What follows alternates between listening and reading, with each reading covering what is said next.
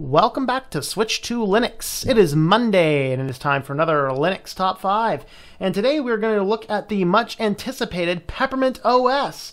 We're going to look at the top 5 Peppermint OS tweaks when you first install Peppermint OS 9 on your operating system. Of course, this would apply to uh, any Peppermint OS and most desktops, uh, but there are uh, there's a few things that Peppermint does a little bit differently than some other Linux distros. And so, what we are going to do here is we are going to have a look at the five things I would consider the most important when you first install Peppermint onto your computer. What are the five things you might want to know how to do or understand how Peppermint is working? Number one, obviously, run updates. That's going to be any Linux distro. Uh, you install it, you want to run your basic updates. So let's go ahead and have a look at uh, Peppermint and see how it uh, how it looks right out of the box and how you are going to go about running the updates.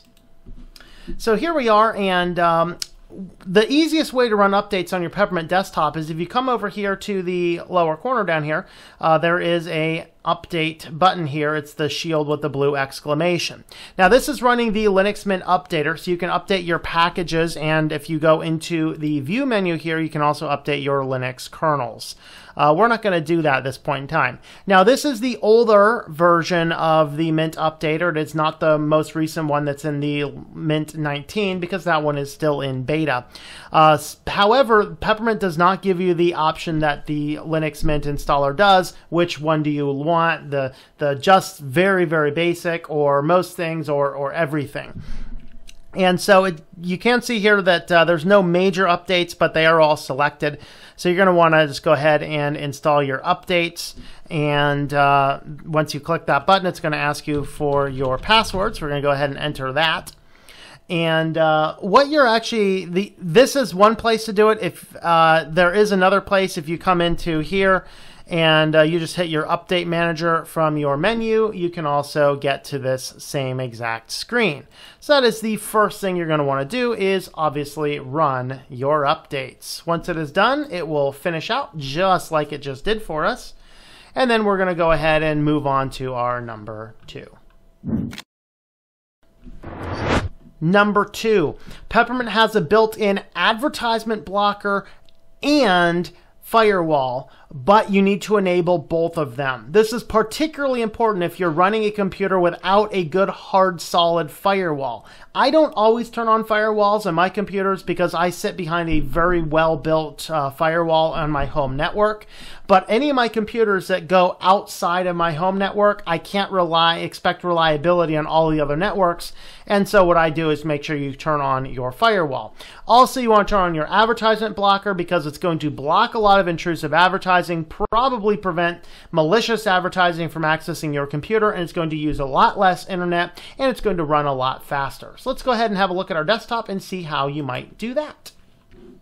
So from inside of our inside of our panel, uh, you can get to these with the Peppermint settings panel, and there's some other places as well.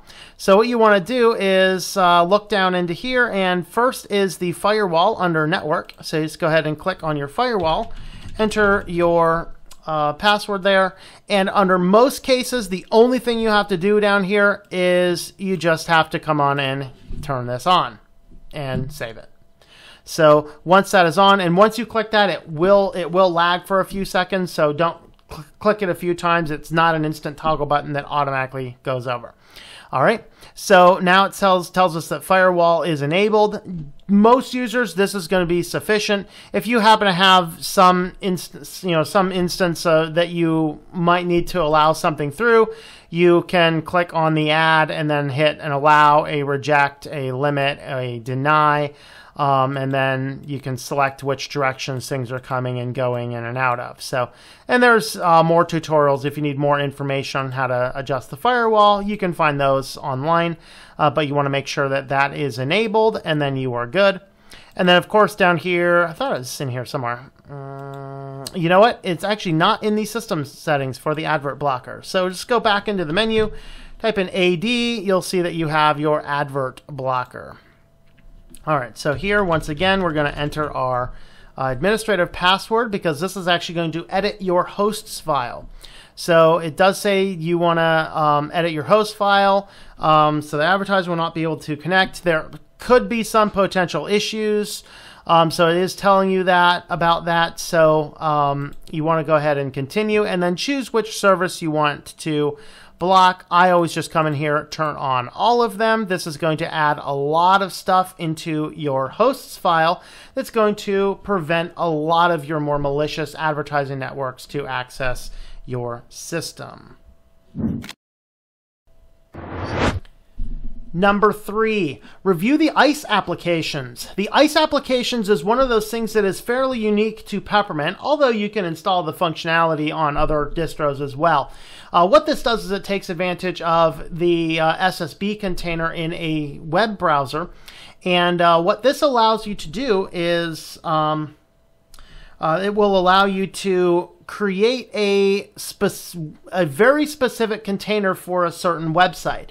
Uh, best example, if you're using something like FreshBooks, or maybe you're using Google Docs, or you are using uh, Microsoft Office, or any of those other online services that you utilize through your web, uh, through a, a, web browser, uh, mail as well, web mail as well then what you can do is create create these and create them as menu items. So you can go right into the menu item and access, for example, your email or your FreshBooks or whatever the account happens to be that you are utilizing in an online fashion. It's going to create a web browser that doesn't have the URL bar or the back buttons, forward buttons, all the other stuff. It's just a simple container.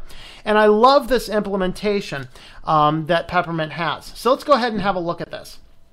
Uh, first, on Peppermint, there are several of these already uh, put into the system. For example, under games, all these games, um, I think most most of the games at least. I know Entanglement, I think First Person Tetris, and I think at least one of the Solitaires. Yep, these are SSBs. So I think they all are actually. Uh, these are all, if you click on them, it's actually loading up a web browser. And as it loads up the web browser, you'll see that the web browser is a little bit different in that it doesn't have all of your navigation. You can still see that it's a web browser, Firefox in this case, because it's the only web browser that we have. And so here you can go ahead and play this online game, which I've never played, so we're not going to continue. The other things that Peppermint does by default is uh, they will have an SSB for the web client for Skype. So this is not the Skype installed on Linux. This is actually the web, uh, the web version. Uh, the forum and the user's guide. These are both online uh, applications. If you go under your Office, you'll see that it has Microsoft Office, etc., and Google, etc. Now, some people in the Linux community may object to these. I personally don't use any of these services, and I am mm, I'm split on the fence. I would love it if Peppermint had an installation button that says don't install these. However, there is actually a minimal install, which I think doesn't install them.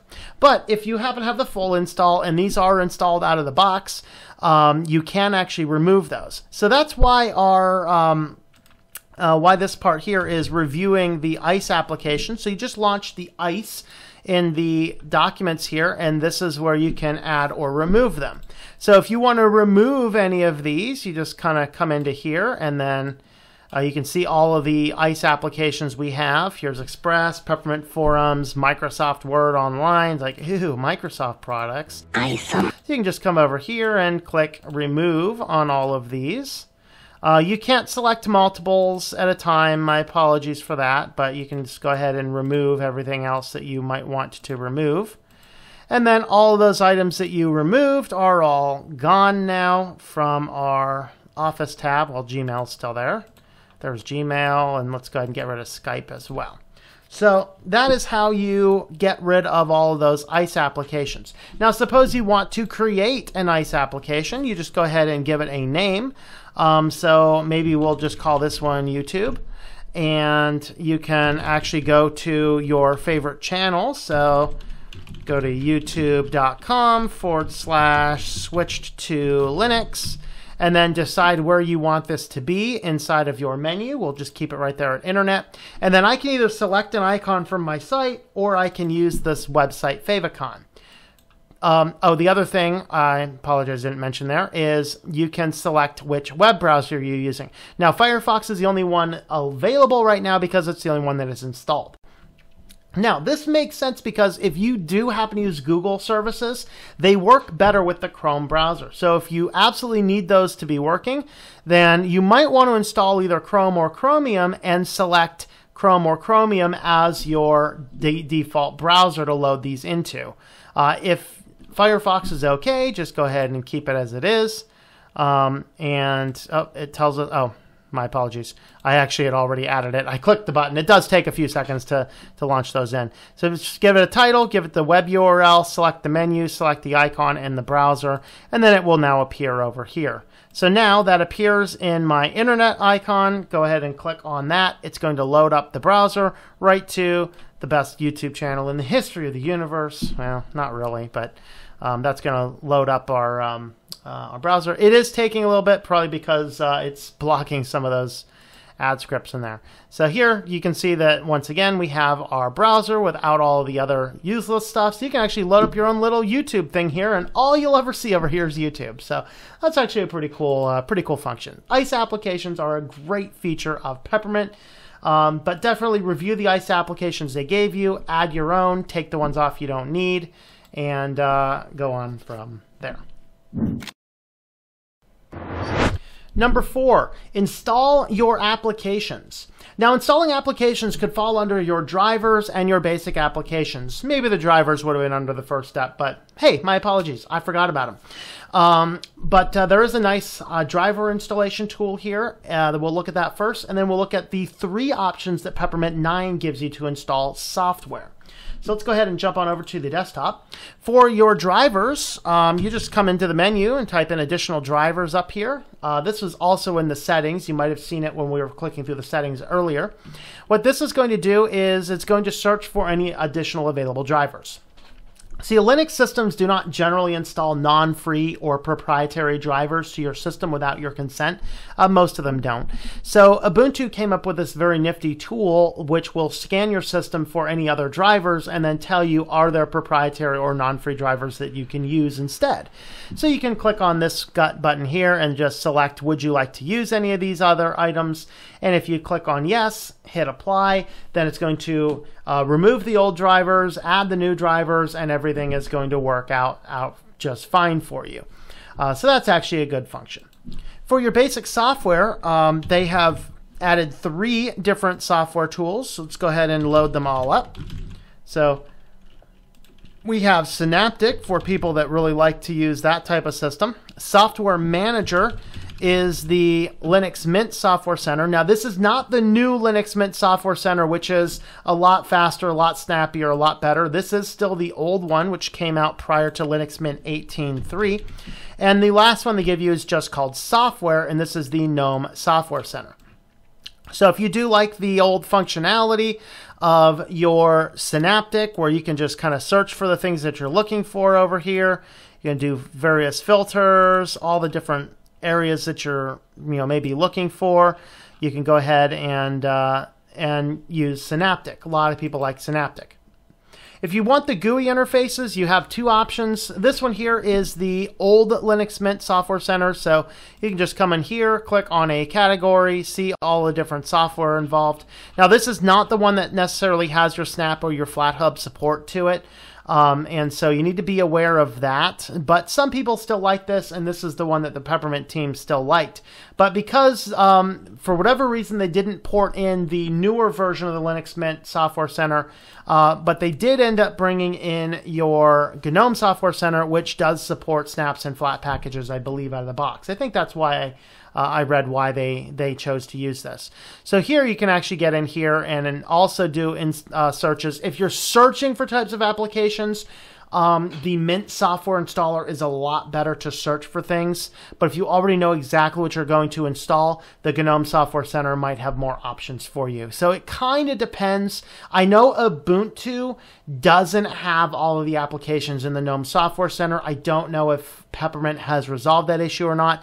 So you might, if you're looking for a specific application, you might look in both uh, software managers to see if it, it may or may not be there. I know I found a lot of issues with 1804 where things were not in the software installer. You could still install it, it's in the repos, but for whatever reason, they didn't show up here on the GNOME Software Center. I think one of those was Simple Screen Recorder, never really showed up here.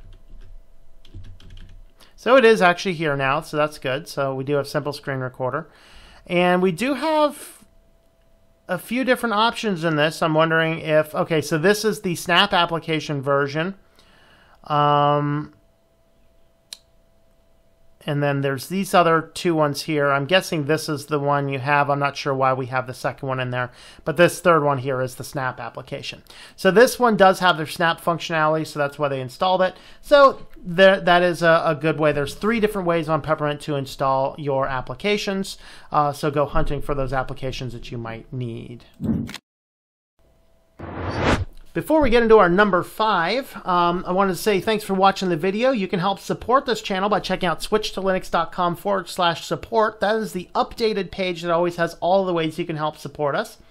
You can also pick up a t-shirt or a. Uh, I do have some nice stainless steel water bottles here, mouse pads, coffee cups, and other things at shop.switchedtolinux.com. And don't forget to swing by the Patreon page, patreon.com forward slash Tom M. So thanks for watching, and now let's get on into our number five. Enable your desktop icons. This is one of the things that I really wish the Peppermint team might think about fixing is have a good GUI way to enable your desktop icons. Now, understand when I say this that the uh, the desktop is already set up to use icons.